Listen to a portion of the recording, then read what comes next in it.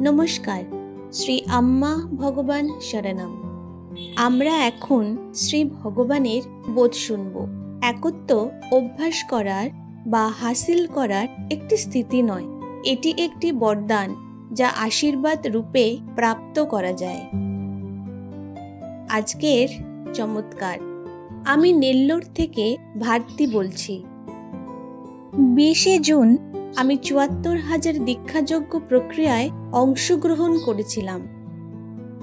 প্রক্রিয়ার পর আমি এমনভাবে ঘুমিয়ে পড়েছিলাম যেন আমি অচৈতন্য অবস্থায় চলে গিয়েছিলাম। সকালে যখন উঠলাম, সবকিছু সম্পূর্ণরূপে ধীর গতি হয়ে গিয়েছিল।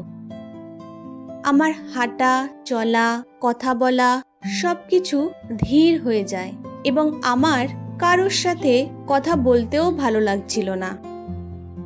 আমি দেড় দিন বাদে স্বাভাবিক স্থিতিতে ফিরে আসি এবং তারপর থেকে যদি কেউ আমাকে আঘাত করে, তাহলে সেই আঘাত পনেরো থেকে তিরিশ মিনিটের মধ্যে অদৃশ্য হয়ে যায়। ঠিক যেমন পেন্সিল দ্বারা লেখা একটি চিহ্নকে মুছে ফেলা হয়।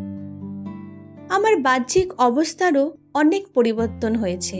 আমার কন্যা, যাকে আমি ভাবতাম শুধুমাত্র তার কাজেই আগ্রহী। সে আমাকে, আমার কাজে এখন সাহায্য করছে। আমার স্বামী, যিনি সর্বদাই আমার ওপর চিৎকার করতেন, তিনি বর্তমানে আমার ওপর চিৎকার না করে সব কিছুকে একটি সাধারণ ভুল হিসেবে গ্রহণ করছেন। বর্তমানে আমার প্রত্যেকটি কাজে প্রচুর শান্তি, তৃপ্তি, সাহস এবং পরমানন্দ রয়েছে।